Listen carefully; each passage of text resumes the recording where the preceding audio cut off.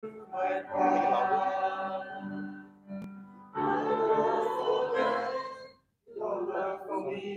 sorry. Sorry. Don't, don't this one. Sorry, let's try again. Let's try again. All right, let's try again. Sorry. Just this button, don't go backwards. Yeah.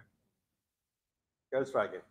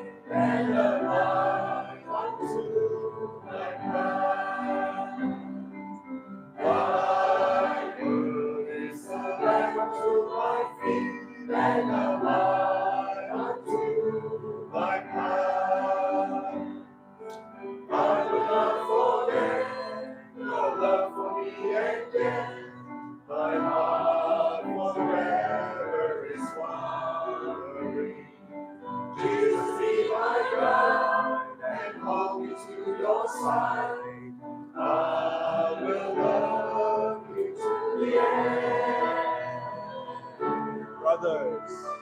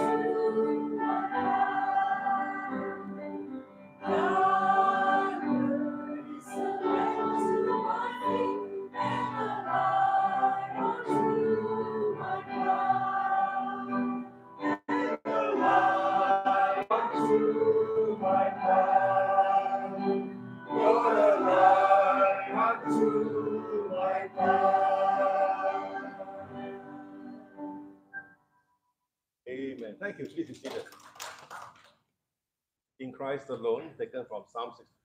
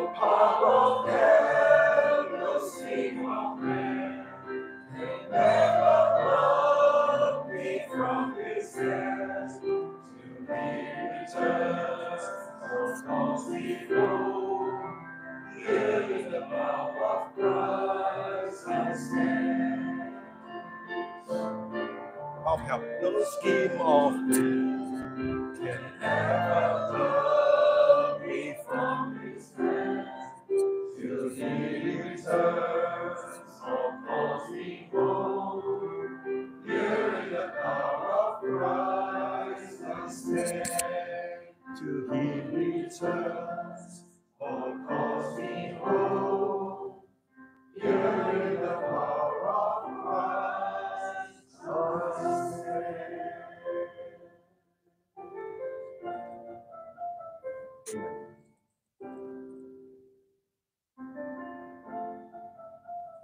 before Ariane comes up and lead us in the word of prayer, one more song in Amazing Grace. Yeah, thank you.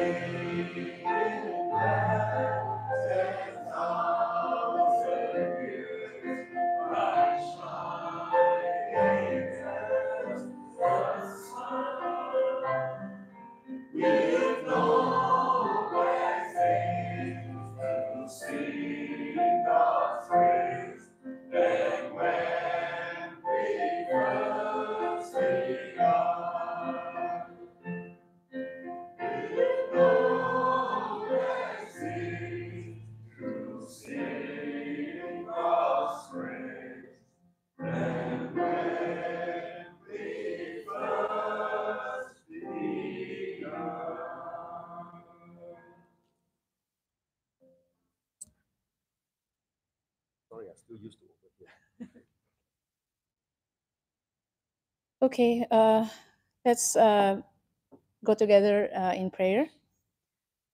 Uh, dear God, we thank you for this day that we are here together to worship you and sing songs to you.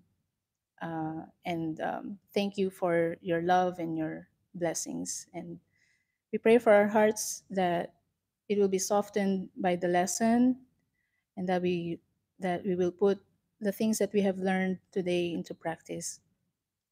Um, we just want to request for uh, healing for Caroline and for her fast recovery, and for those who are sick among us, um, that you will uh, lay your hand upon them and comfort them and heal them.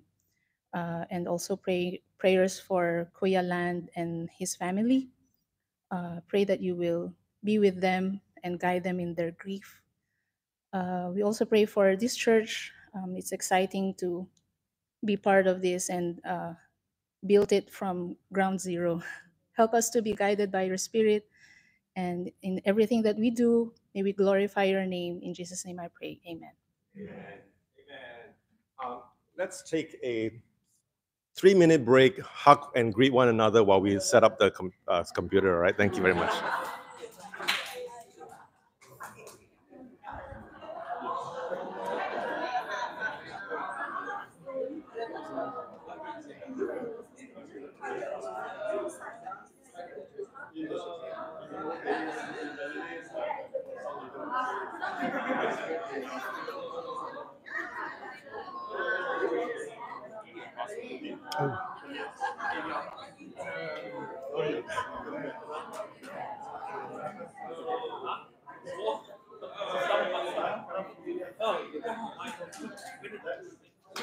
I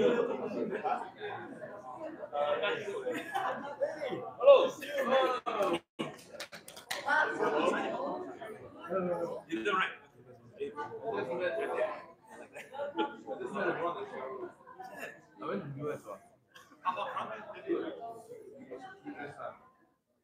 Ron Hammer. Got three already. What?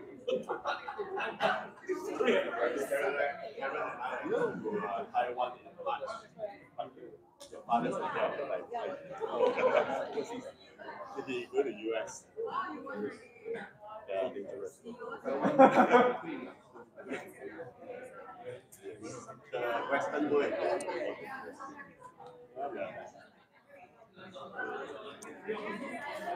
Amen. Let's uh, let's get back to our seats. Thank you.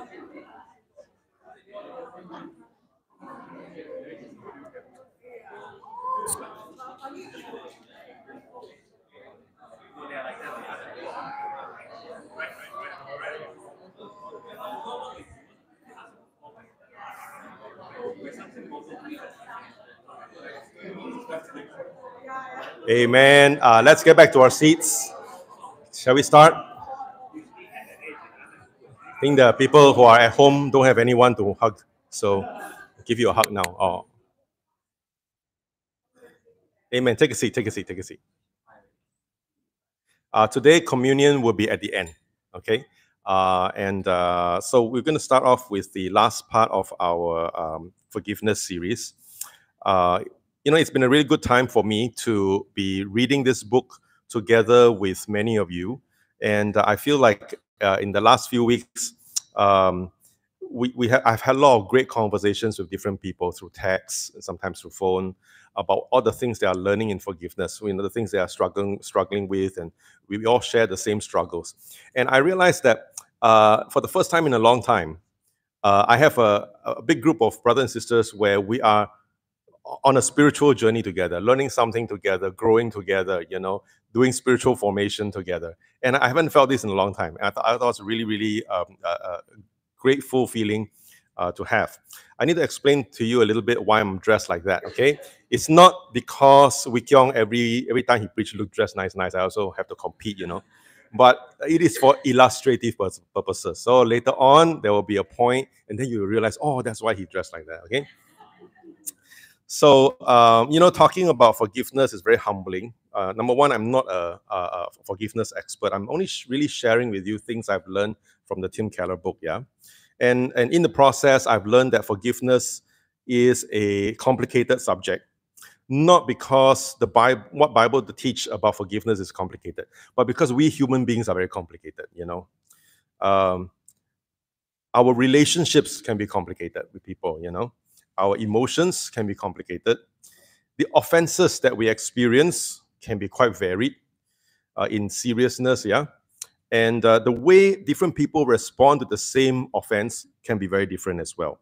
So how to apply Jesus' teaching for each one of us can be complex. And I've learned that we all have to struggle to, uh, to uh, struggle with the scriptures. We have to struggle in prayer. We have to struggle with the cross. Uh, we have to struggle with our own sins, looking at our own sins, yeah, fixing, and then fixing, our, struggling with fixing our eyes on Jesus, you know, so that at the end of the day, we can obey uh, God's commands, God's will, right?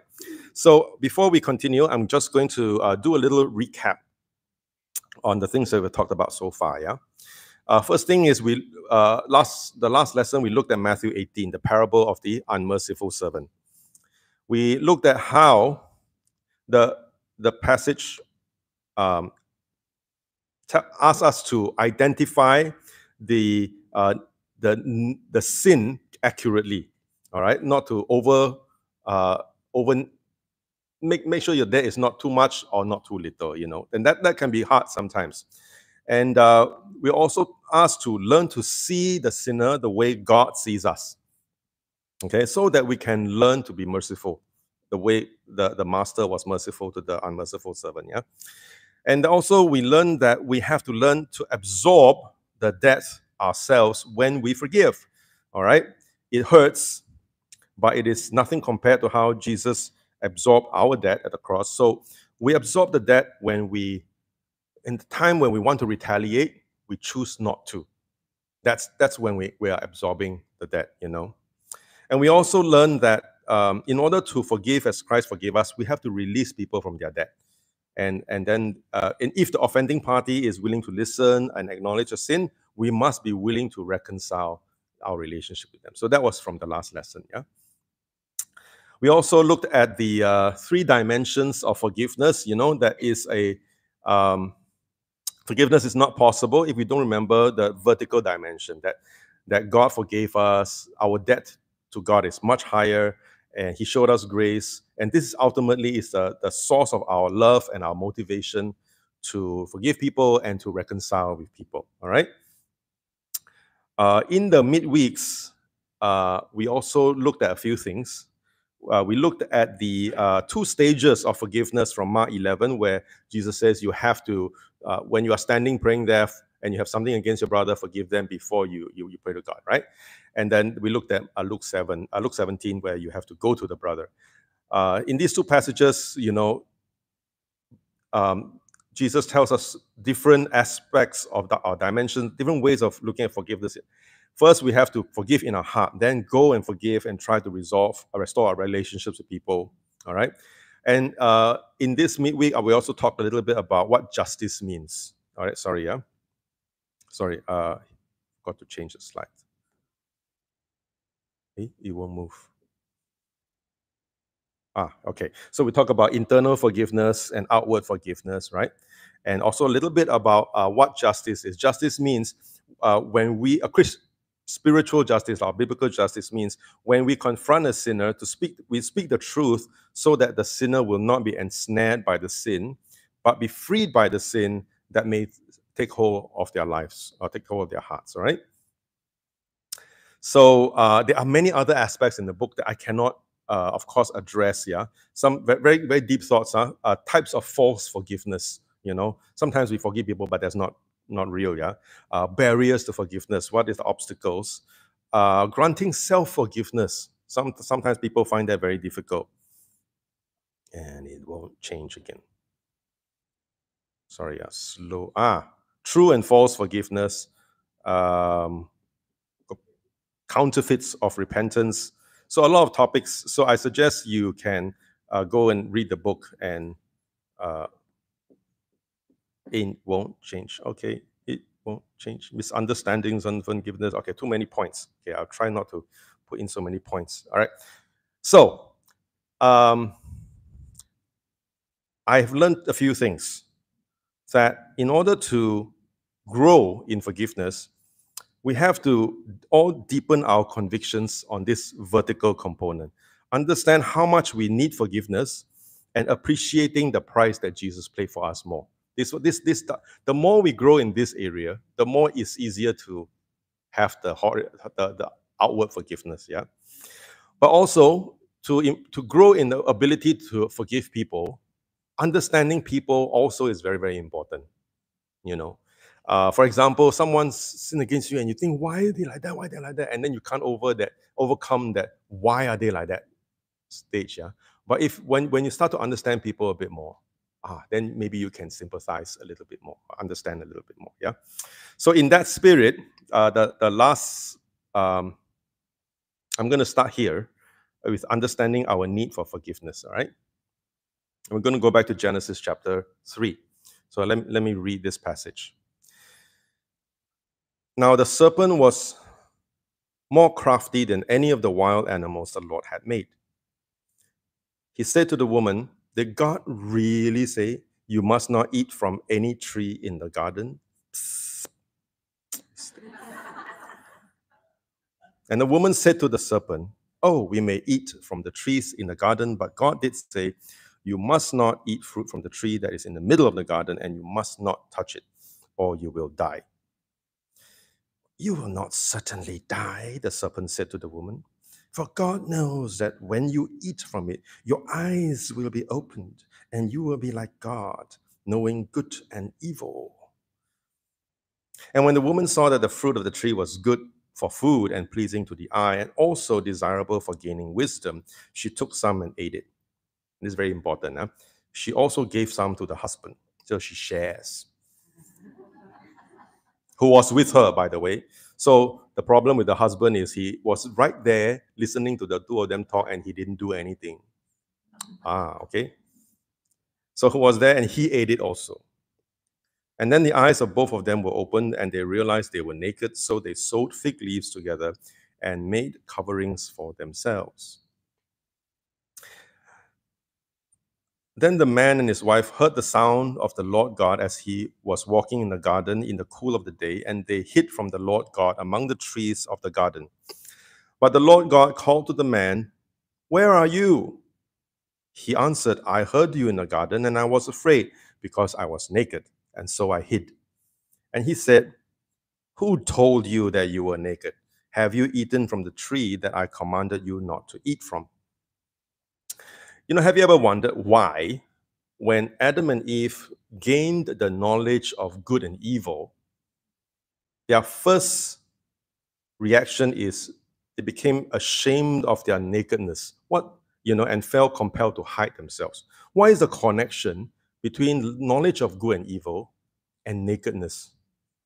You know, their nakedness made them so afraid that they felt compelled to hide from God. It is as though when they gained the knowledge of good and evil, they came to realize that they might be evil, that they are no good.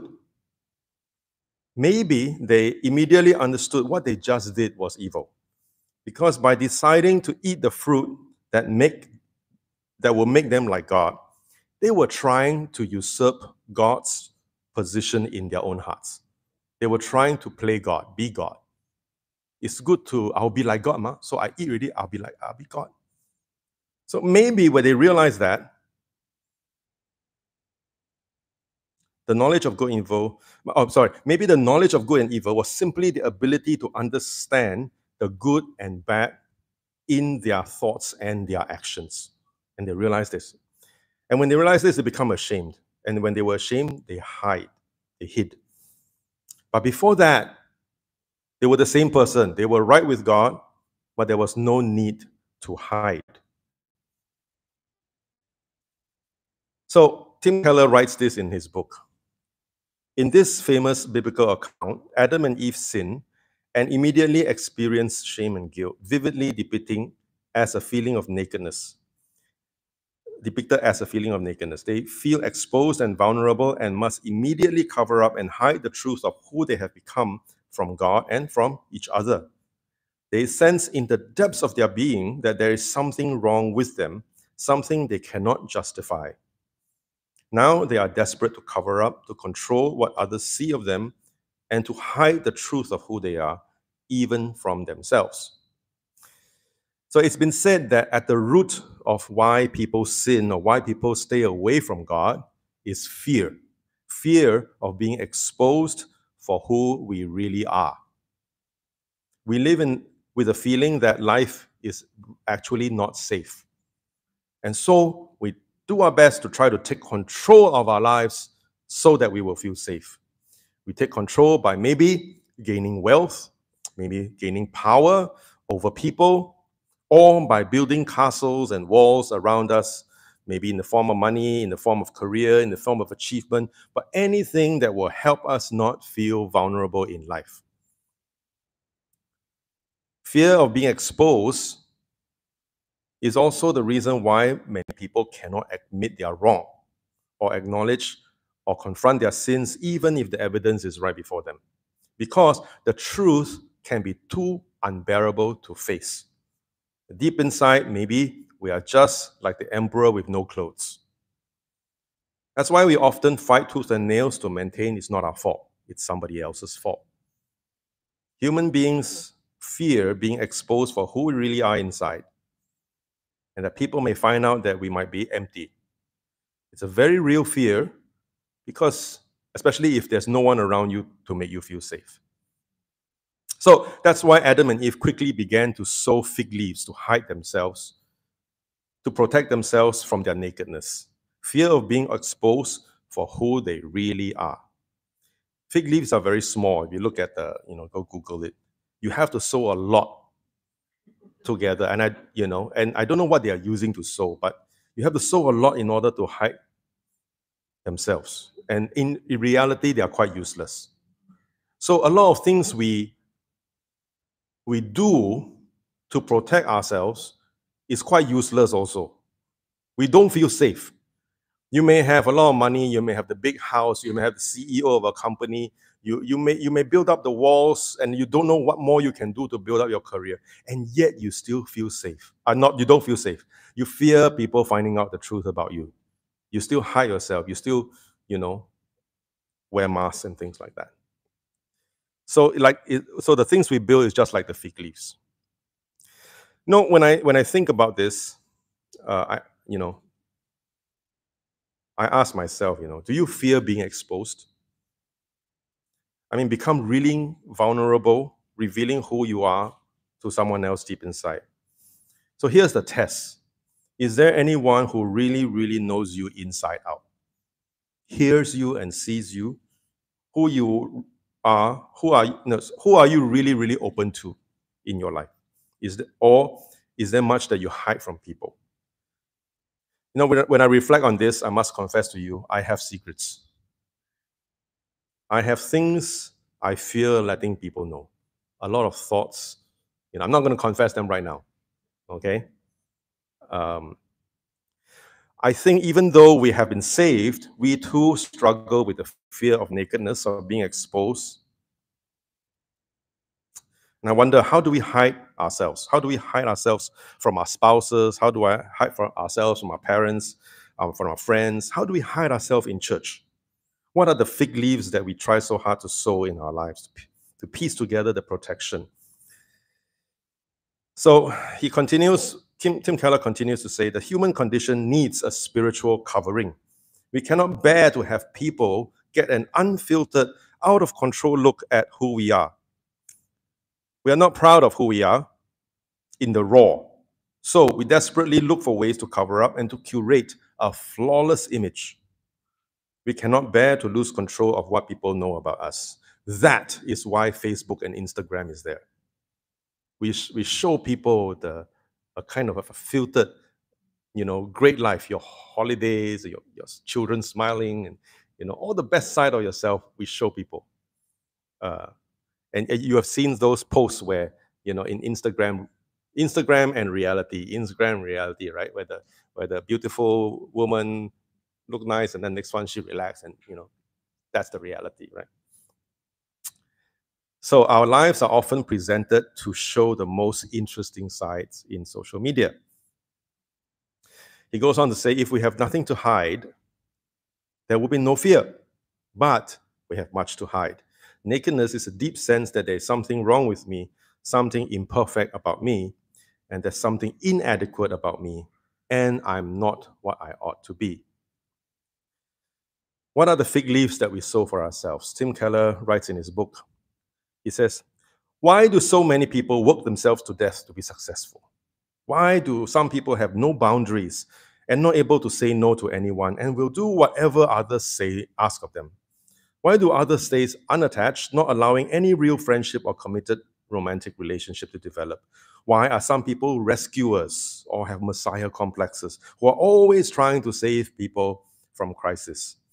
Why do some live in a perpetual victim mode, spending all their time blaming others for things they are unhappy about? Why do others engage in abusive behavior, living a life based on the principles of do unto others before they have a chance to do unto you? Why do people become religious so that they can condemn everyone else who do not have the same belief as them? Why do so many people like to spread slander and gossip on social media? Why do so many people want to convince other people that their opinion is right? Because all these are fig leaves to hide our sense of nakedness, our emptiness, our, the depravity in our hearts. Our perfectionism, that's a fig leaf. Our desperate pursuit of academic success, that is a fig leaf. Our selling our souls for careers is a fig leaf. Our desperately holding on to our youth is a fig leaf. Our desperate need for approval and attention is a fig leaf. We think that there's something so wrong with us that we have to hide it at all costs. We need, yeah, we need perfume even, all right? So that was not the state, but that is not the state that God created Adam and Eve to be in, and it's not the state that God created us to be in. And so, right after God realized that they were naked and they were hiding, what did God do? It says God made garments of skin for Adam and his wife and clothed them so that they will no longer feel naked. God sacrificed an animal to make clothes for Adam so that they no longer have to feel naked and ashamed. But unfortunately, there's no way to go back to before they, they, they knew good and evil. Yeah? Now they know their sins. Now they have to wear these coverings in order not to feel naked. And that was God's kindness, God's mercy to them. But it meant uh, the life of an innocent animal or animals, depending, you know, how, how much skin they had. And this act of God, this sacrifice to clothe Adam and Eve, is what he did for us also. So in Galatians 3, Paul writes, So in Christ Jesus, you are all children of God through faith. For all of you who were baptized into Christ have clothed yourself with Christ. So we are all wearing the garments of the sacrificed Christ. So that now we really have no fear that we can we are naked inside before God. I can be my real self before God. I can be as ugly as I really am before God. Because when God sees me, he only sees me through Jesus. And that is also how we can see one another through the tuxedo or gown of Jesus Christ. So I'm wearing this today. Now I explain. Yeah? My, my wife bought this suit for me. Stand out here, you can see. Nice, nice. My wife bought this suit for me uh, a few years ago. Never had a chance to wear it.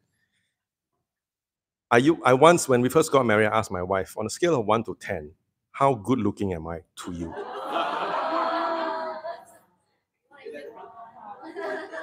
The, I, I'll tell you the answer. The answer is 4. Okay, depending on your, your ego level, yeah, you may think that's high or low. I don't know. It's four. Okay, I, I accepted it, lah, you know. On a weekend morning, on a Saturday morning when I wake up and go for break, eat breakfast at the table, my hair is all standing up. I'm wearing a singlet. My glasses are all like that, and I'm wearing shorts. I go down to a two or maybe one. But if you get dressed up like this, nice, nice, huh? With this, I can. I think I can go up to an eight. if I go for a hair, hair, hair, you know, do my hair a bit, maybe I'll go up to a nine. All right. Spray a bit of perfume and have the right occasion for it. If I walk up on the stage to receive an award, I think I can hit a 10. Yeah. So that, that hit me, you know. You, you look at me like that, also, you think nice, right? This is Jesus Christ. This is the blood of Jesus Christ, you know, the body that was broken for me. So that when God sees me, he sees this. He doesn't see what's inside. And I went to an onsen in Japan. I was so scared of, you know, being naked with other men in there because I got no upper bodies, muscle, you know, and pouch, you know. Yeah. So, but then you walk in there, and all I see is old men look just exactly like me. then I realize, ah, oh, not, it's okay. It's okay, you know. But this is Jesus' blood, Jesus' body broken for me. And it makes me look good before God. We're all wearing Jesus. And whoever you are, with your ugly side, your selfish side, your scared side, it's okay because God Himself is willing to sacrifice His Son so that you may be clothed with Him and be able to walk with Him unashamed because He loves you and He would clothe you with His Son. And um, so I hope you see our need for forgiveness because we cannot feel free without the blood of Christ. So, um, Tim Keller gives us three resources for uh, giving and receiving forgiveness. And he takes this lesson from the book of Joseph, uh, from Joseph, from the book of Genesis. So I'm going to read from here. Genesis 50. When Joseph's brothers saw that their father was dead, they said, What if Joseph holds a grudge against us and pays back for all the wrong we did to him? So he sent word to Joseph saying, Your father left these instructions before he died. This is what you are to say to Joseph I ask you to forgive your brothers the sin and the wrongs they committed in treating you so badly. Now please forgive the sins of the servants of the God of your father. When their message came to him, Joseph wept. His brothers then came and threw themselves down before him. We are your slaves, they said. But Joseph said to them, Don't be afraid. Am I in the place of God? You intended to harm me, but God intended it for good, to accomplish what is now being done, the saving of many lives. So that so now don't be afraid. I will provide for you and your children. And he reassured them and spoke kindly to them.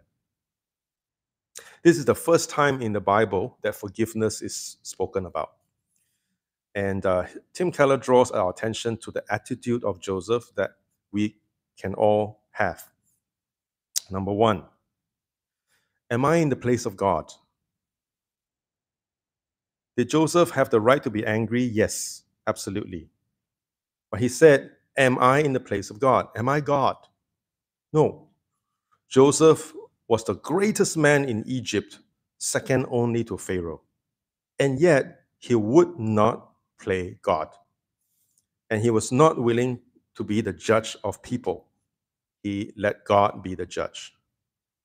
So, this was a man who chose to be humble. Joseph was saying, The only way I could stay mad at you is if I consider myself worthy to be your judge, but I am not.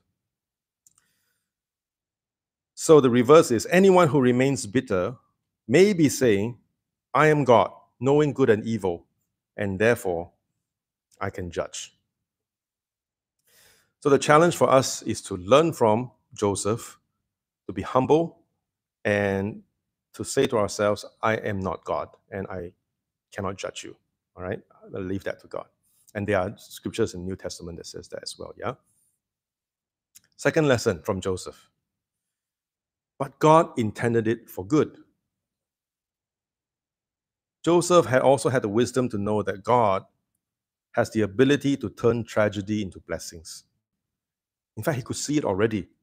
He suffered a lot, but he could see that if he had not been betrayed and suffered, he could not save his people from famine.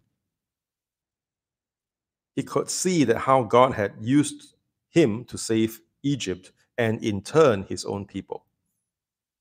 So when we struggle with forgiveness, very often we are struggling to see things. We're seeing how God can turn a bad situation into a blessings. We cannot see that people might one day change. We cannot see the situation turning for better one day. We cannot see ourselves becoming stronger, uh, becoming more spiritual, more loving. We cannot see that one day we can be completely we can have completely honest relationships with our with, with people in our lives and not fear being naked.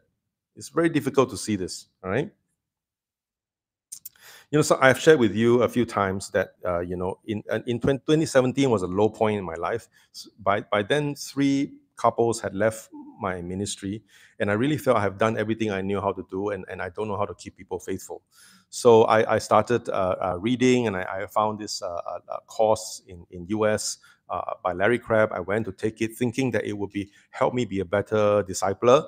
But actually, it, it, it I I realized I had to fix myself. There were many many things about me that was wrong. You know, I had to change. You know, and um, and so I, I learned many things. I came home, I shared with my Bible talk and different people, and um, I had no idea that there would be a time where I have the opportunity to share the things I learned with you, you know, in, in a time like this, you know. So it's it's a little bit of for for me uh, the, the Joseph experience that that you know uh, things tough things I went through.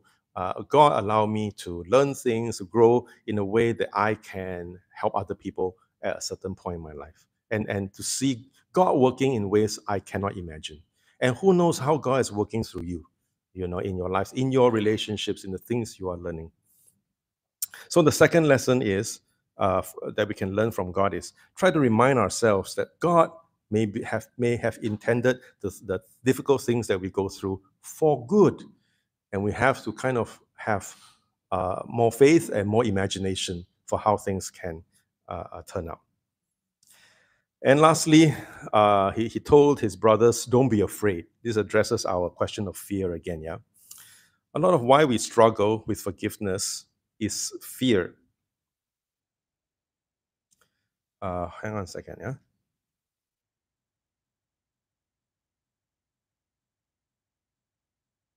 Sorry, I, I, I can't see my I can't see all my all my notes. A lot of why we struggle with forgiveness may be fear. Fear of what? Fear, what if he doesn't listen? What if he hurts me again? What if he repeats the sin again?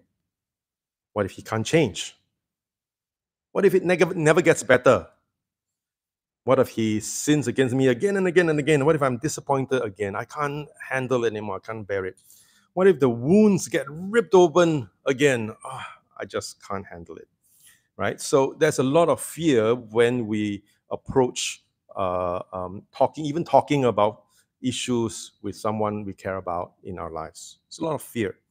And, um, and, and the challenge that God seems to be telling us is don't be afraid. Don't be afraid. Why? Because God loves us. It is the love that protects us.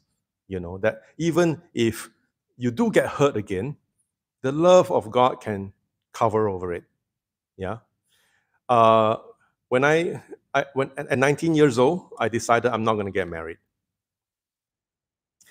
Uh, I, my, my parents' marriage was not great, and I was convinced that if I got married, number one, I don't know how to make sure my marriage don't end up in divorce. I have no confidence that I will be a good husband, and I definitely have no confidence I will be a good father. Because when I was growing up, all my mother's friends are divorced she always going to hang out with her friends, right? And then the, all the women sit together, talk, talk, talk, talk, talk, talk, and, and as a child, I'll be with my mom. So listen to them talk. Lor. So either the husbands are having affairs or they are all divorced. All like that one. Okay? So 19 years old, I said, no need. I will never get married, and music will be my only love. yeah. That was before I found out music doesn't love me back. So I didn't want to get married. Okay, I got married. All right. I, the reason I got married is also because I saw in the kingdom of God a lot of marriages that were good. You know, that inspired me. That gave me a sense of hope. But I didn't want to have a child. But I had I had my first child, and then I, I when I held her, I thought, yeah, I can be a very good good father. You know, when she was sick, I pray, you know, that God take away a few years of my life so that she can breathe. You know, and, and things like that. I can change diaper, I can pick up poop, all that, you know. But then I don't want to have a second child. I said, enough, lah. The world is very messed up, you know. So this second child is here, right? So I tell tell So I told I, told my wife, why why why have a second child? One enough already. Then she said something. Um, she said, I want to have a child with you. Wow, like that. Win already, lo? yeah. Uh, so why we had a second child? Because of love. My, my wife loves me and want to have a child with me because of love. And love covers over a cover, uh, chase, chase out fear, right? Uh, okay.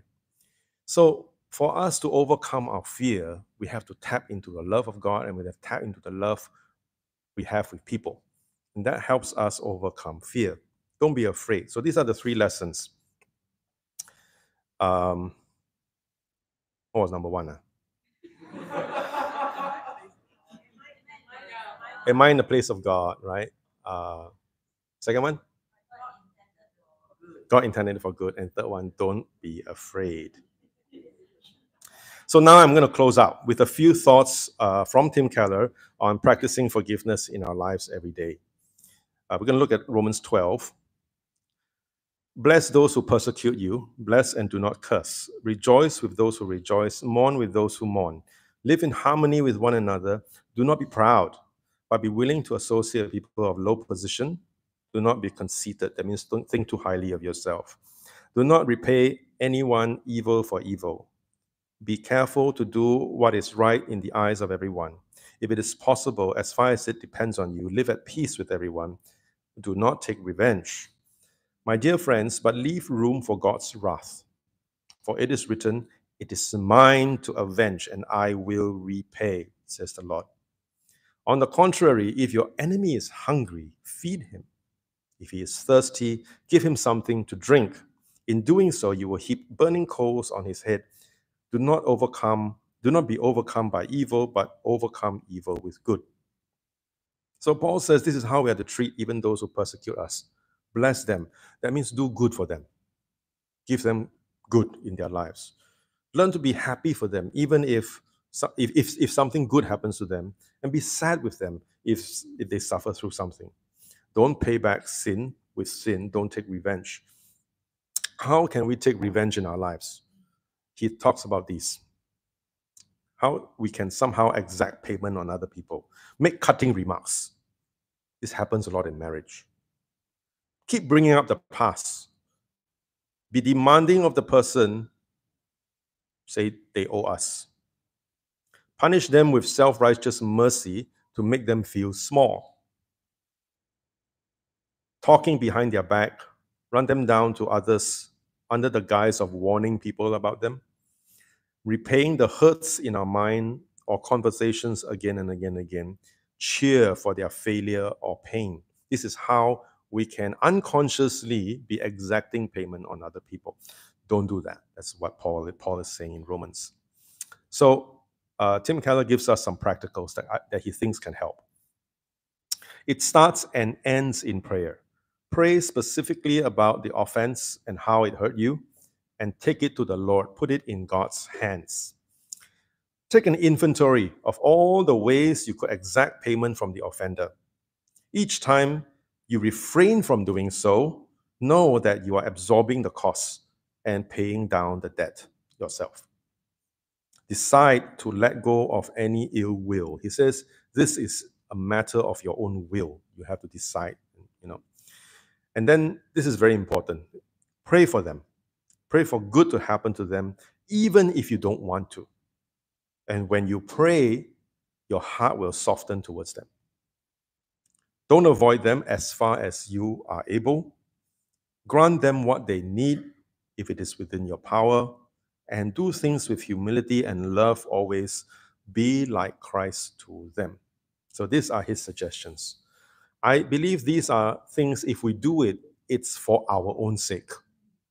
It is for our spiritual formation, our spiritual growth. It is for us to practice before we get positive feelings. For us to be like Christ first before we even want to. We do it because we trust Jesus and we want to obey him first and foremost, yeah? And he is our Lord. So this practicing all these things is our spiritual discipline. Okay? Uh, and so at this time, uh, it's communion. Okay? Uh, let us take the bread and the wine and let's focus on what we look like before God, like that. Okay? We are all clothed with Christ and we look great. We look like we are at a banquet. In fact, the Bible does say, you know, heaven is like a banquet, yeah? Let us understand that he has sacrificed his son to clothe us, to clothe us, and we no longer need to feel naked. And we know that even those who sin against us, they need to be clothed with Christ as well. All right? So, with that, sisters are preparing the uh, bread and the wine. Okay, let, let us go to God in prayer. Amen. Father, we thank you so much that uh, you have clothed us with Jesus. And um, we, you have uh, sacrificed him so that we don't have to be afraid of being naked, but we look awesome in your eyes. Help us to, uh, as we as we consider him on the cross and breaking his body for us, as, uh, and and, and uh, spilling his blood for us. Help us to uh, learn that we are not you, and we can leave judgment to you. And uh, we also want to learn that there are many things in our lives that you're working powerfully in our lives, and uh, you're working uh, like like it says in Romans, say for the you know to to to do good to the people who love you, and and and you can turn a bad situation into a blessing. Help us to have uh, faith and vision to see that, and uh, help us not to be afraid uh, of, of of life, of the challenges that life throws at us, but uh, help us to see that because you love us, we can overcome that fear, and we can uh, we can love one another, and whatever challenges we face, we, we can overcome it together. And uh, we thank you so much for blessings that you've given us, our families, uh, our, our, walk with you, our, our, our conscience, our debtless lives. And we, we, we just really want to uh, be happy and, and enjoy uh, this day and this life, just walking with you every day. We thank you. In Jesus' name we pray. Amen.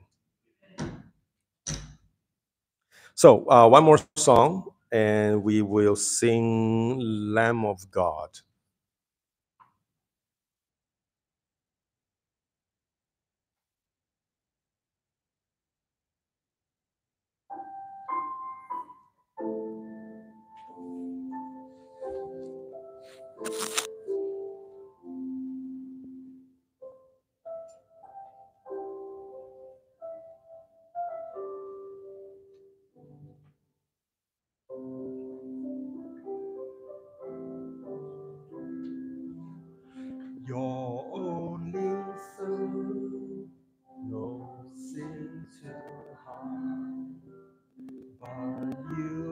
Crucified.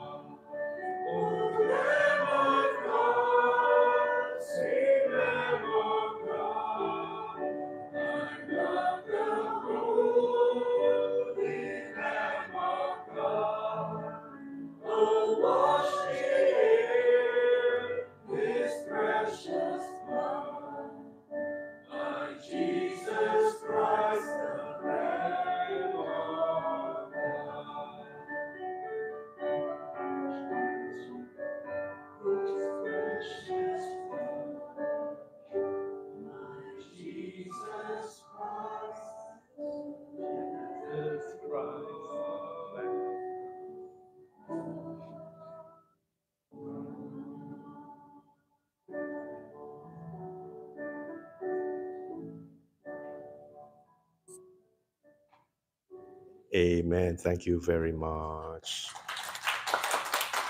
So we're going to close out here with uh, some announcements, and then we have a great time of fellowship.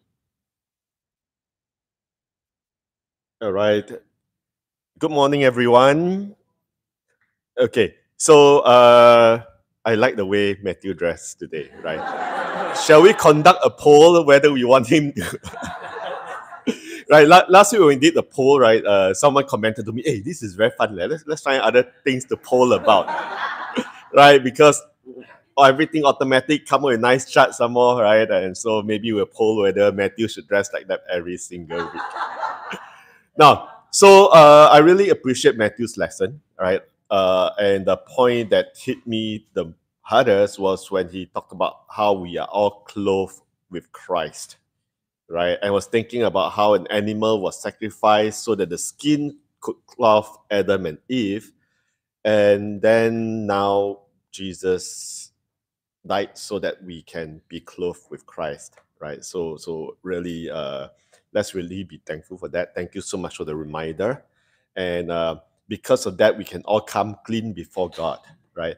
And just as we can come clean before God, God can forgive us. We should really show the same forgiveness to people who have sinned against us. Uh, I appreciate how Matthew has taught us three sermons on forgiveness and conducted three midweeks as well, right? I, I, I think uh, a lot of us have gained from it, but we also know that um, forgiveness is not just something that's going to be over because of three lessons and then three workshops, right? It is an ongoing process that we need to keep practicing in our lives. So thank you so much also for the practicals for us to really always think about. Now, I've heard comments from some people say, okay, I still have questions, right? I still need to talk to people.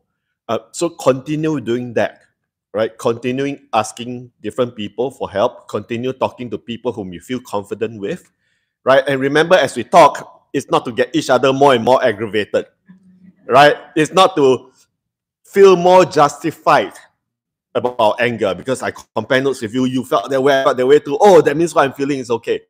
Now we talk with each other with the goal of helping each other to be spiritual, right? With the goal of praying for one another so that we all can learn to forgive just as God has forgiven us. Amen? Right? Let's go to God in the word of prayer.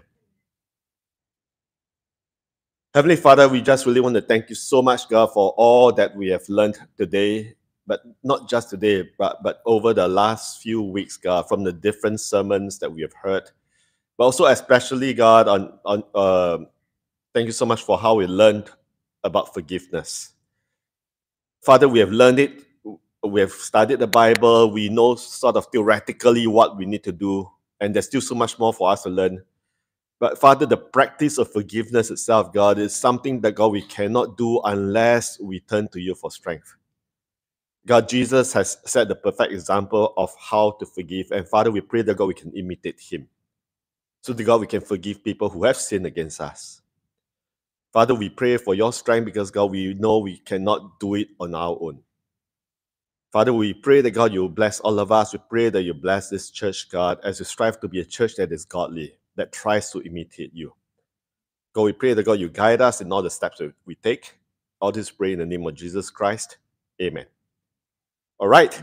Okay, so announcements. Uh, so this coming midweek, we are not going to talk about forgiveness anymore, right? This coming midweek, we're going to have a prayer night. Okay, it's on Thursday uh, at 8 p.m. Now, and let's also fast on that day. Now, uh, if you can, right? I know some of us have got different medical issues, right? So gauge for yourself how you can fast, what time you want to fast, and what you want to fast on, right? Have confidence that we can all, in our own practice, fasting, right? And then, uh, so prayer night, we're going to tune in after that. Now, you can break fast before the prayer night, right? Don't wait until after prayer night by the time you eat 10 o'clock or something, right? Uh, so, break fast on your own, right? And then after that, we can all tune in and we can pray together, right? It will be on Zoom. It will be the same link, but we will send it again for your convenience, right? And next Sunday, the service is again here. Next slide. Now, so uh, I want to give a update or report on our collection last week, right? So we made a free a request for free will offering uh, last Sunday, and it is to cover February and March expenses. So collection period was supposed to end on Wednesday, but then some people still, hey, hey, can I give? Can I give? Right? So it actually end on the ended on the third of February. So we had hoped to collect five thousand dollars, and on that very same day on Sunday, we already exceeded five thousand. So it's really a reflection of all of your hearts, right? Thank you so much for your giving heart. And altogether, there were 34 donations, uh, and then it all totaled 10,200. So double what we had set out to collect. All right. So thank you very much, all of you, for your giving hearts. You know, I, when we were doing the collection, we said we have confidence in people's heart, we have faith right? And really, that has been demonstrated, right, in our love for each other and for the church, right? So, what will we do with the excess amount collected? We use it to pay for the church expenses for the subsequent month, right? Because we don't collect already and then reserve, reserve until a lot. Now, we want to build reserves, right, uh, for emergency purposes, but we want to also use it to cover the church subsequent months' expenses so that we don't need to keep making collections right? But what we don't know is what will the subsequent expenses be like. Okay, we will only be here until the end of March. Okay, after that there'll be a renovation for I hear four months, and then after that, if we do want to come back here, uh, I'm sure rental will probably double or triple, right? Once they renovated the whole place. Okay, so uh, we um, as you know, we have been working quite closely with Pastor Manjan Church of Christ, who rented the other rooms, and then we rented this room. So they've been looking for other places as well, since this whole place is going to be undergoing renovation. And when they do the research, they're saying, uh, Jinkai, don't expect you still get it for 550 every week. Okay, it's at least going to be double that or more, right? Uh, so they check out a lot of other hotels. It's going to be a lot more costly. So we do not know what the subsequent months expenses are like, so we cannot project. But once we are able to find out, okay, we will let you know, right? And uh, what we want to do going forward, right, is to always be transparent about our finances, and uh, we will update the church on finances on a bi-monthly basis, not after a whole year and then show you all some accounts, right? Every two months, right? Why not every week? Because our deductions are very simple. Every week minus $550, right? So don't need to update you all the time, right? Okay. Uh, and um, so, uh, and also because we don't to talk about money, money, money all the time, right? Okay, as a church, right? So uh, we update on a bi-monthly basis, but anytime anyone has got any questions, you know, uh, do approach us anytime. And then, uh, yep, so that's it. Okay, that's all for the announcements. Let's break up for a time of fellowship.